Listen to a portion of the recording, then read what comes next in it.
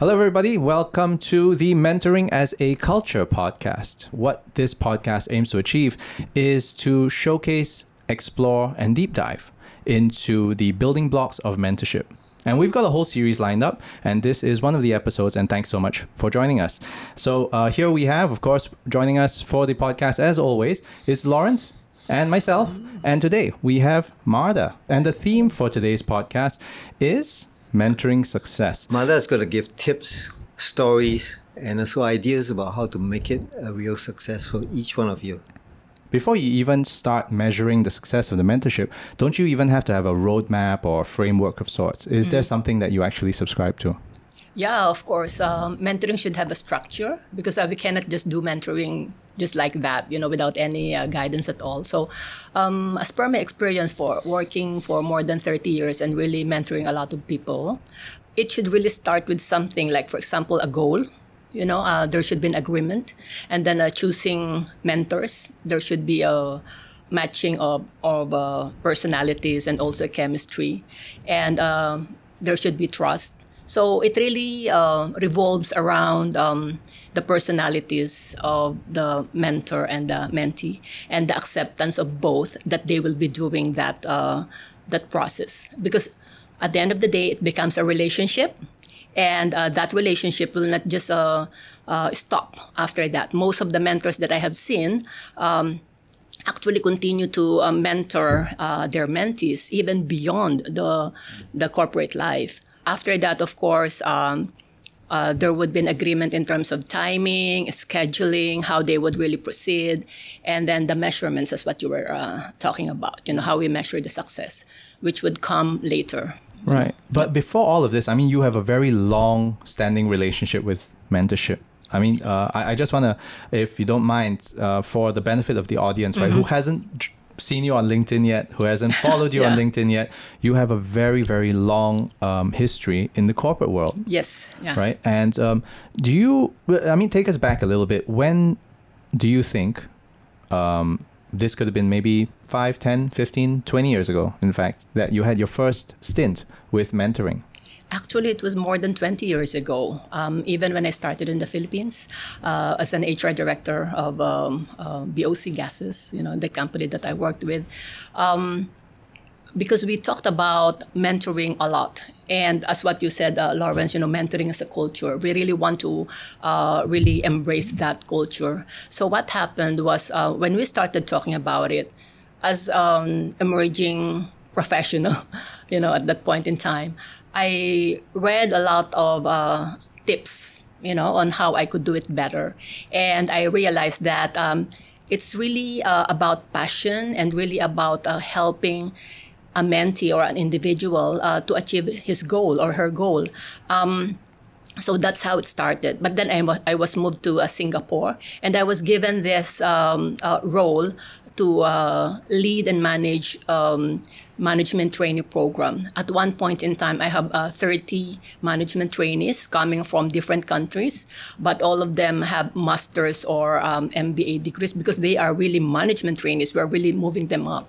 We assigned mentors to each of them, but because I am the program lead for that, by default, I became the uh, mentor to these uh, young young uh, individuals, just uh, fresh graduates, but uh, you know, uh, with the masters and MBA. So um, that's when I realized that um, it's a lot of work, but it's an enjoyable thing. I mean, you know, um, I learned a lot from from that process, and from that start, I did not leave mentoring at all. So it became automatic, and it became a part of my my uh, profession. Hmm. I shall say, yeah. Hmm. You know, I, I like working backwards, right? And I was thinking, right, how do you define mentoring success for, say, let's take, for example, an individual in that management training hmm. program that you had 20 years ago? Yep. What was mentoring success for that person mm-hmm. That you actually felt really good about? Maybe you can share that as a story for us. Oh, okay. A lot of uh, stories. Um, well, I will pick up some. Yeah. Um, well, first and foremost, uh, I shall say that mentoring success is when uh, the mentor would see that the mentee became successful. You know, I, I was talking about a goal of mentoring. When you saw that the mentee actually achieved that goal and even went, you know, ahead beyond that much more, it means that um, the mentoring is successful. Second, when you can see that the mentee really acknowledged that because of that mentoring that uh, he has, he became successful. That is really something. You know, uh, as a mentor, you will you will be very happy um, hearing that. I will tell you one story. Um, just yesterday, I had the phone call with one HR director in the Philippines that I actually um, mentored. Um, yeah, about uh, 20 years ago, and he introduced me to his training and development um, manager as uh, this is Miss Marda, and he was my mentor before. I learned a lot from her, and you know during that time um, he was working as a, a training and development uh, manager, but now he himself is an HR director in a big uh, company. So for me, being introduced like that, I, I really felt that it is uh, you know a successful mentoring. Um, another thing is that um, when you see that uh, your mentor uh, mentees actually uh, became uh, something, you know, uh, very. Um, I mean, like a leader or a CEO in that company that they are working with, even though they left the company where you met them before, that's really a, a good thing. And if they would never um, lose contact with you, I mean, that that's really something. And they will tell you that, hey, I appreciate this, I appre- appreciate that. Do you think that uh, um, it sounds like mentors and mentees end up becoming friends? Yeah, because, you know, for a passionate mentor, he or she should look beyond the individual. In the process of mentoring, uh, there could be some cases wherein, especially if you are uh, talking about bringing the mentee from A to B, there will be a lot of discussions about issues. And the issues may not be only at the workplace, it may be issues outside of the workplace. And if that's the case, you need to do something about it. He is looking at you as um, somebody who's um, you know um, very experienced somebody that um, they, they could trust you know they could share they could share some things. If you are an effective mentor you need to say something about it and Right. you, you need you need to think that okay this is what i would say or this is what i would do if i were in that situation that he's talking to me about so that's the reason why by default and unavoidably that relationship would grow even beyond the corporate uh, mentoring. Right, right. Uh, Lawrence, I wanted to get your take on this, right? Um, many a times, uh, I think in, in many organizations, they go, okay, this is business mentorship or this is our corporate mentorship and this is what we do for you specifically for the vertical or function that you do. But yet what Marda is talking about is completely different, whereby, okay, maybe I'm opening up Pandora's box here, which means that it's no longer just this thing that this this one channel or this vertical Yeah. or function that you focus on, but now the mentor can also level up and go into someone's life, personal advice. Uh, tell me a little bit more about perhaps how many facets of mentorship there is. You know, one of the key things that you correctly called out, right, is the fact that mentoring is like coaching, but it is more than coaching. Yeah. It's actually, and Marda th- alludes to it about it being more holistic Yep. in terms of how we develop a person. Uh, we're not just talking about a function or a specialization or, Yep. or a skill. We're actually talking about the development, the growth and development of the person mm-hmm.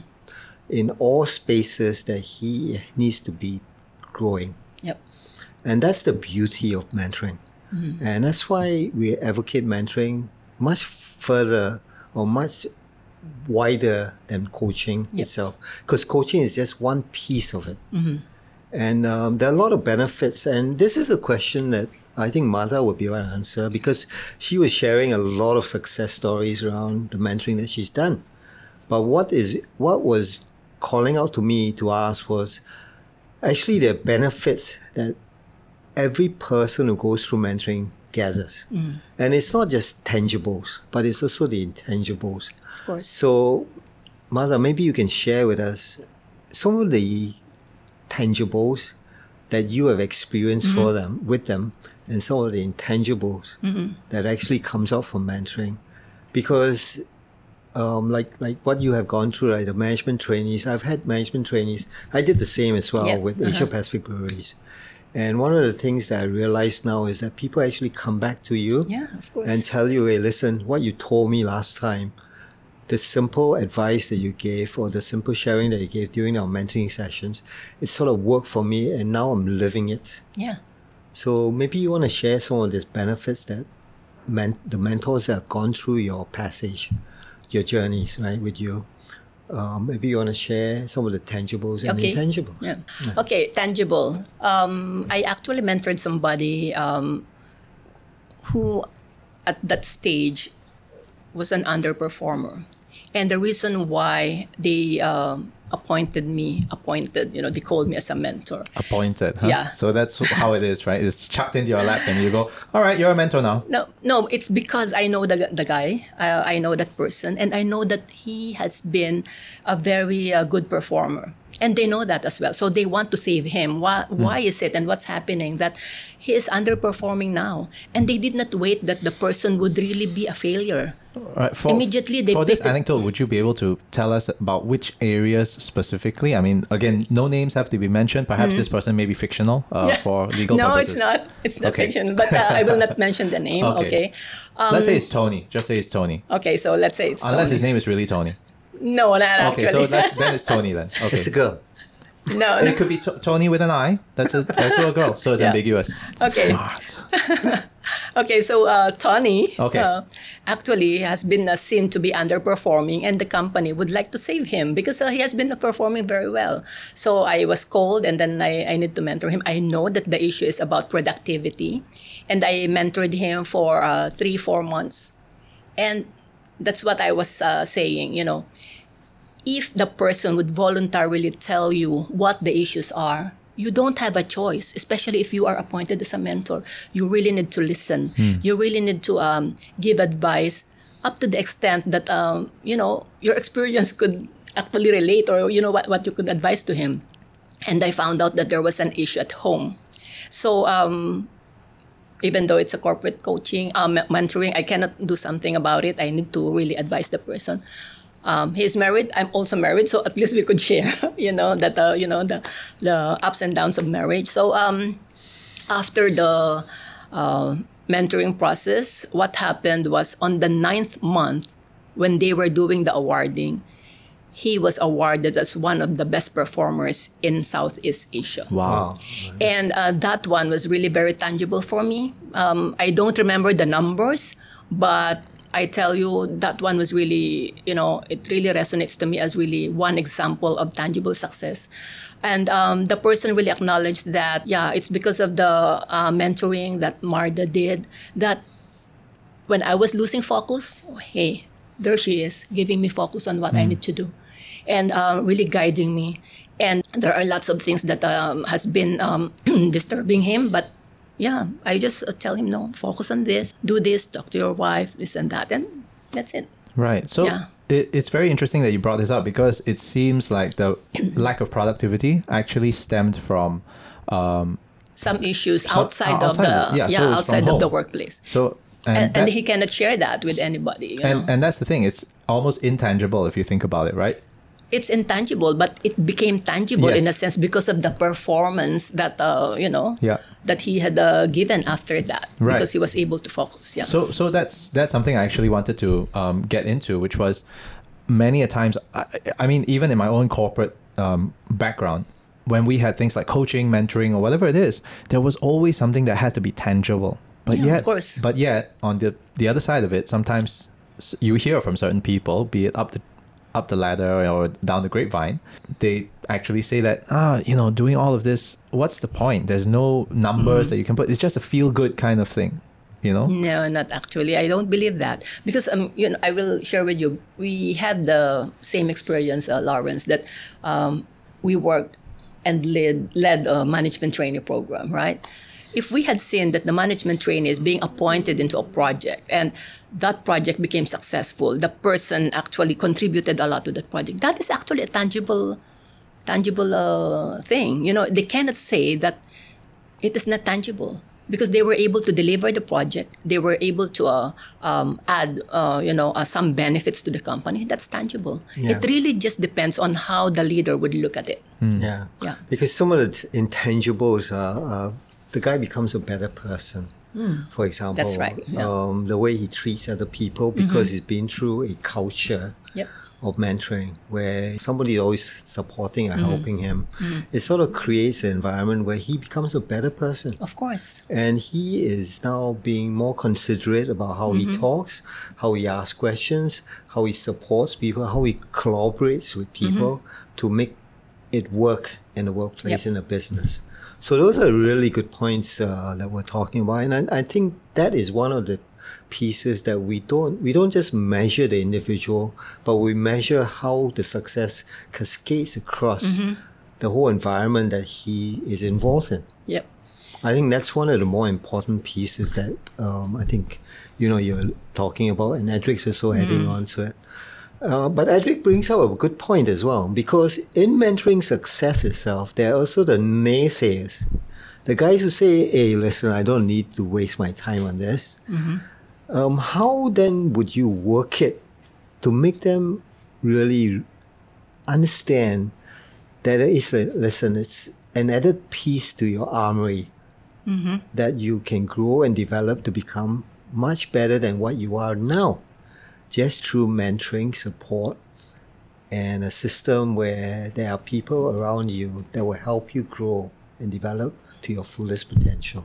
Okay, uh, first and foremost, I shall say that before embarking on a mentoring process, the person should be open minded and should have already accepted that he is going to be mentored. Because um, if he doesn't have that acceptance in his mind, then it will not work. Because whatever you're going to talk about, all the conversations that uh, you're going to uh, have with him, he would have a closed mind and he would not accept it. So the first thing that the mentor should do is really to open the mind of the mentee and have that acceptance at the start. Yeah, Yeah. absolutely. And I think that is the crux of it, right? Because we talk about success, right? But beyond w- success is a point in time. That's right. But there are other things that are happening before that happens. And, and everybody's got to be along that same journey. That's right. So it's great that you're bringing this up because in mentoring, right, um, the the best form of mentoring in my mind, my, this is my personal opinion, is actually informal. Yep. I Yeah. agree. I agree. No, and but but then in the community that we're in right now, everybody's doing mentoring. Everybody, and if you do it wrong, you actually end up destroying mm-hmm. rather than creating. So how do we, Marda, in your mind, right? Going through all the 30 years of experience of mentoring and being touched and also believing in it totally, what is the one key factor that is so critical, right, to make sure that we have the mentoring prepared with the right skills and competencies? How do we do that? mentor mentor relationship of course the mentor um, should be somebody who would be qualified would be knowledgeable about the things that he would um, mentor you know the mentee about um, so that he could get the respect and the trust because if the mentee would have in his mind at, even at the start that why am i appointed this mentor you know he or she doesn't know anything about this. So uh, there should be that trust that the mentor can actually uh, help help the mentee, you know, really move to the next level. That trust should really uh, be there. So and there's also the chemistry and the acceptance of the the process. Like you know, there should be timing, there should be schedule. Uh, because both of them are working and they are both busy. Um, so those things should work most critical i think is really the trust and the respect you know um, between each other Right. Yeah. You know, going back to one of the points that you brought up just now, which was getting people to open up, whether they are willing to receive that mm. mentoring. Right now, we're talking about very high level stuff. Yep. I'd like to go down to the nitty gritty, which mm-hmm. is what were, in your opinion, more of the common points of resistance that you got, and how did you overcome them? okay number one resistance that i had seen is you know the question in the mind of the mentee that why am I being mentored? Why am I in this program? So there's this defensiveness, right? Yeah, That- defensiveness because they would think that I'm I'm not performing. Maybe that's the reason why. because they're afraid that they'll be sacked. No, I'm they, not good enough. What, what's the yeah, m- maybe That, that's one. Um, and uh, they're thinking that maybe this is the last uh, last leg of my journey in this company. They're just trying to save me, you know.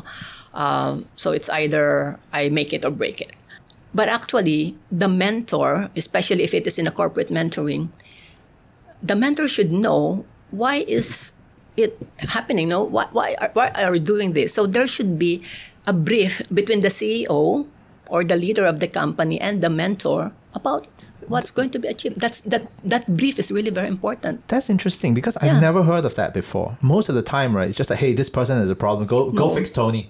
I would always request for that meeting and really uh, get a schedule with the CEO that you know we need to be sure of why this is being done.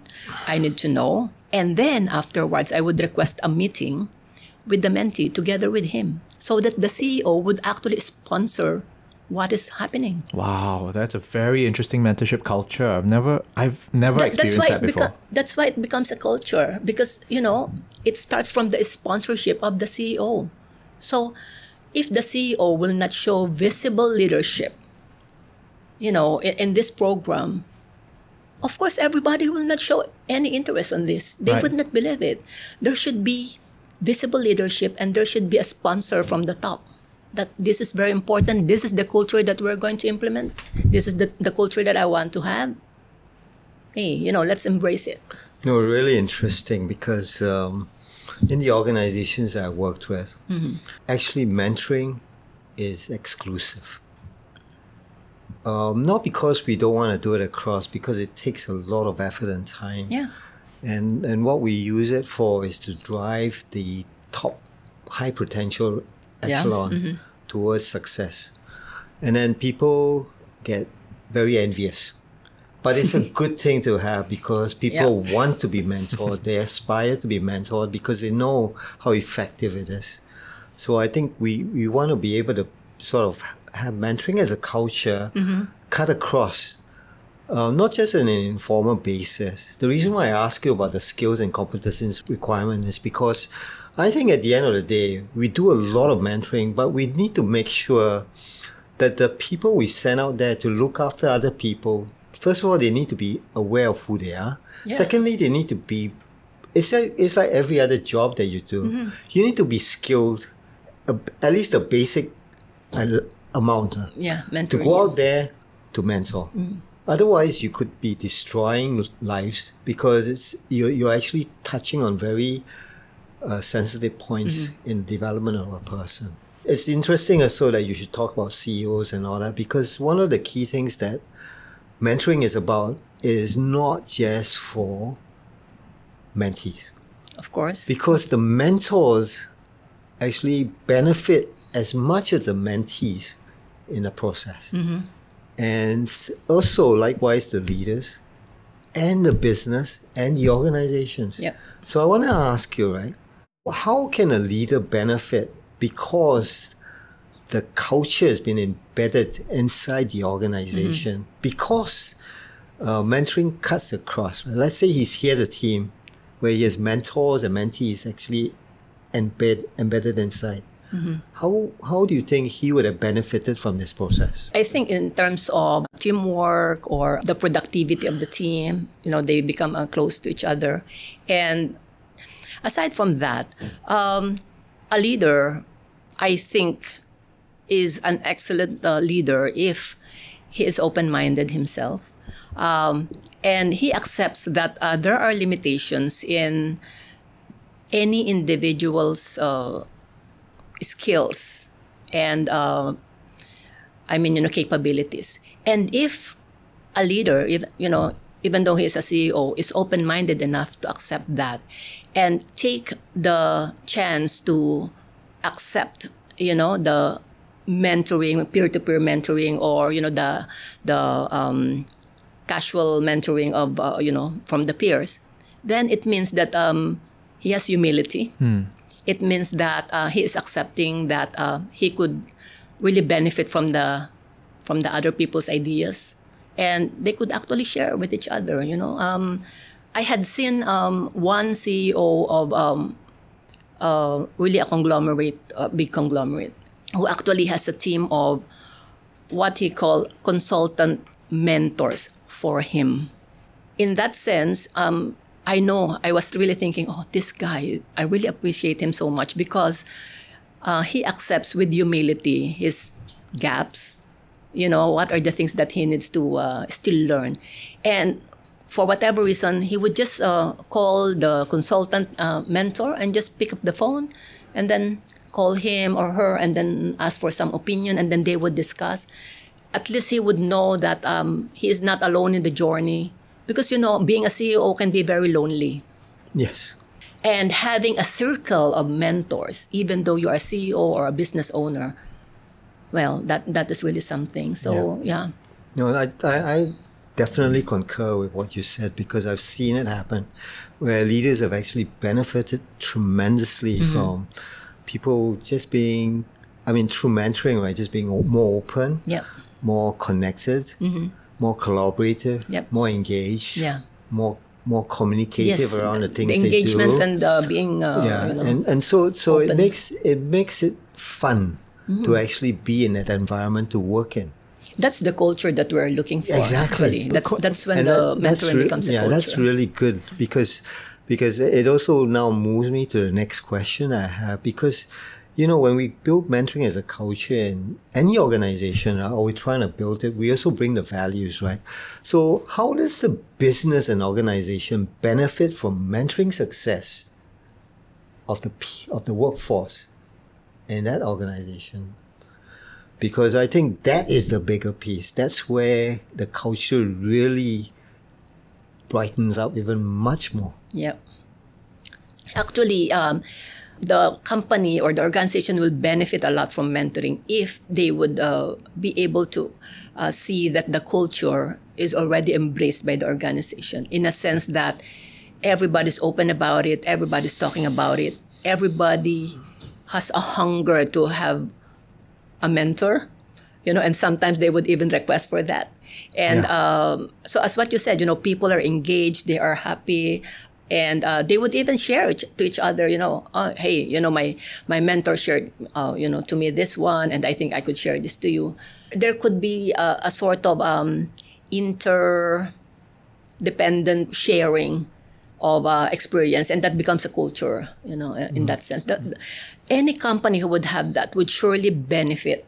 You know, it could be an in, uh, you know an intangible benefit, but it would just come out and it would be seen by the people not only inside but outside the organization, the customers, um, um, even the productivity will be up, the share price will go up. You know, all of those things uh, that that could happen actually.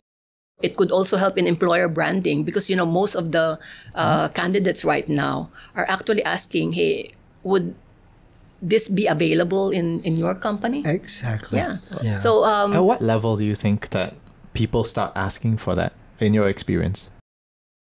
if a person is ambitious, I think they would, at the start, they would already have an open mind about, hey, who can help me? The, the candidate, if he enters the organization, um, a good uh, company with a mentoring culture would already think about how uh, this person could benefit in a buddy buddy system they call it. But it's actually a form of mentoring actually. that the person will not be just left out. There should be somebody who would actually guide the person on the uh, you know unwritten rules how he can be more effective how he could deal with this person that leader that department you know and this and that. That is a form of mentoring. Right. and that could start even at the onboarding stage. You know, it's interesting because having read a lot of stuff about future of work, right? Mm-hmm. I think a lot of the younger demographics, the younger generation, they're starting to look at pieces like that, right? To actually develop. And they're talking about balance and they're talking about support. They want to do things easier, Yep. don't have to reinvent the Yep, wheel. yeah. So they, they use these mentoring elements, right, to mm-hmm. help them get there. So a lot of it is about, you know, like you said, right, when people come looking for jobs now, they actually look out to see whether you have that system in Yeah. place in the organizations, right? And yet, I find that organizations do not totally embrace it. Why do you think that's the case? perhaps the leader does not support you know because it's really very tough for hr or for the leadership team to be able to implement that uh, that program or that uh, that culture if there is no sponsorship from the top. Number one really is sponsorship from the top. The the leader should actually believe in what they are doing in terms of mentoring. Because i'm sure if the the leader would um, actually um, articulate that that hey you know we need to guide our new hires. We need to uh, help them. And let's identify the high potential. And we can do that only if we are closer to them this and that. That would actually uh, be in the minds of those direct reports and the next uh, level below. And that would actually trickle down the organization. Eventually, if everybody would be interested because the CEO had started it, it becomes a culture eventually because everybody would think that um, this is something important, especially if HR would include uh, that uh, mentoring piece into the performance management. Yeah, I, Yeah. I- interesting you should say Yeah. that because in terms of success, right, for business and organizations, uh, when I was working in my last MNC, what happened was I was measured by the percentage of revenue growth for putting in the mentoring system. And it was, and luckily for me, over the three years that we did it, we initiated it, it was double digit growth. Wow! So you have been for- successful. yeah, six to twelve percent it was. So I think one of the key factors that needs to be actually embedded is that we need to have metrics measurement mm-hmm. to see the success of it. But having said that, right, currently, right, in a research that was recently just passed up by the Singapore Business Federation, what is said that what the three core challenges mm. of organizations are increasing costs. Yeah, Second one, manpower. yeah, And the third one is business continuity and survival. Mm-hmm. In this order, right? 67, 97 for manpower, and 66 mm-hmm. for survival. Mm-hmm.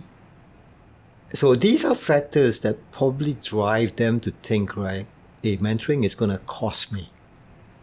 So how am I going to stop the increasing cost of running a business and address the mentoring, the manpower issue mm-hmm. or keeping our people and developing them correctly?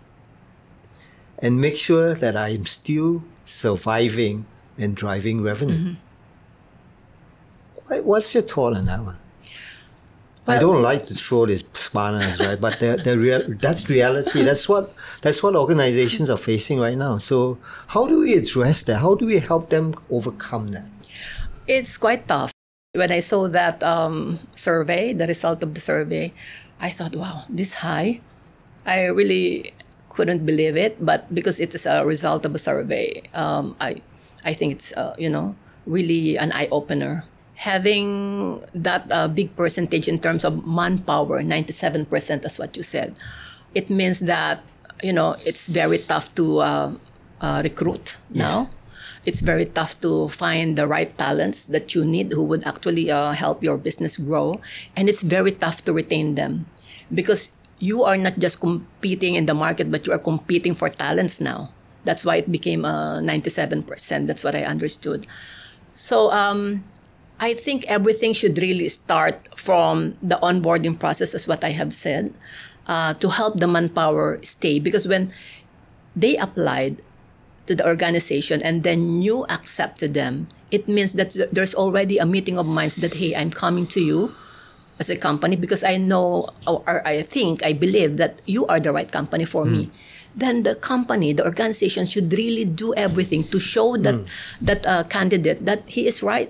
You know, um, so many things. It's not only rewards, especially the young people now. They're not only looking at money uh, they're looking at so many things like you know how you implement diversity inclusion sustainability mentoring process and all of those things then um, to, to uh, really retain them you need to introduce a lot of programs, and mentoring is one of the, one of those I programs. totally yeah. agree. Right. Yeah. On your end, right? Do you actually kind of subscribe to a certain mentorship or mentoring framework that you bring with you wherever you go so that you can measure, again, the success of not just the mentee, but your own mentoring? what I do is mix and match what really works. Um, I don't just subscribe to just one framework, especially if I had seen that, hey, this other framework wor- may work. And that's when uh, the elements of, you know, the nationality, the gender, all of those things uh, could come into play. Because when you find a framework that may work in the US, it may not be the same framework that will work in the Philippines Right. because of the values that are actually driving the the people you know how they grew up two countries which are you know very different in values you know especially in the family Right. so um you would need to learn as a mentor to really mix and match depending on the personality and the you know the demographics of your mentees i mean you know you need to do that Yeah, it's interesting because we're going to be talking about East and West oh philosophies. yeah and as I, well. I i think that and is I think very that's good a uh, very topic. key point Yeah. in what you're discussing. But we won't go into that. Of course, yeah. Because today is about mentoring success. Yeah. Yeah. So, And- how do you measure your mentoring success? My mentoring success, um, as long as I had seen that my mentees are successful, I was able to guide them into the goal that uh, we agreed that they would reach. And I had seen that they had reached that and even went beyond. When I actually uh, see the tangible benefits that it has brought to the company, whatever computation is that, which is quite tough to discuss here. Um, and um, whenever they come back to me, as what you said, you know, after many years, and introduce you as, hey, this is my mentor uh, before, and I had gained a lot from her mentorship. That's really a success for me. So Yeah, and sometimes you don't even know that you are her, men- her mentor. And but they call you her mentor, Yeah, even, right. and you're just basically giving advice and you're supporting what she's doing Right. or developing into. So that, that's the biggest piece of, of the culture, recognition. yeah, But you can't mentor everything, right? And I know, uh, yeah. So, in your for, for yourself, I mean, this is really for everybody who's Mm-hmm. listening, watching, right? To really understand as well that it takes a lot of introspection to find out what you're good at mentoring and why you do it. So, Yeah. what are you good at and why? I, I think first and foremost, um, I have the passion of really helping people. I don't know where it came from, but immediately, if a person would come to me, um, say something, in my mind, my mind would already start working and think that, hey, why is this person coming to me? Maybe there's something that he wants to uh, learn or he wants to get. And um, so I would probe you know, um, ask some more questions, and that's when I will find out what is the reason why the person approached me. And um, I would recognize immediately, as what you said, that sometimes I don't even realize that I am becoming a mentor, but in them, in in them, in the minds of the mentee, they're thinking that hey, I could actually come to you know Miss Marda, and maybe you know uh, she can become my my mentor. Uh, but then after one or two uh, discussions, I would realize I'm already mentoring this person. Yeah. And if that's the case, I would really need to help and I would really need to do it. So Yeah. there's a passion, you know, burning passion. That's really number one. A mentor cannot become a successful mentor if there's no passion in really doing it. So, Marda, you know, you were talking about passion a lot, right? Yep. Actually, you forget about yourself. Yeah. you know because I, I say this because your your your the people are attracted to you because of your personality oh. because of the way you actually open up to embrace and which is a very important ingredient in looking for good mentors and and that's one of the pieces that we all often forget that naturally by chemistry right Yep. we get to find mentors who are gems in the in the ground. But what I want to know, uh, what I want to ask you in ending, right, to close this off, is what is one really good gift that you would like to give to all the participants, all the people who are with us today?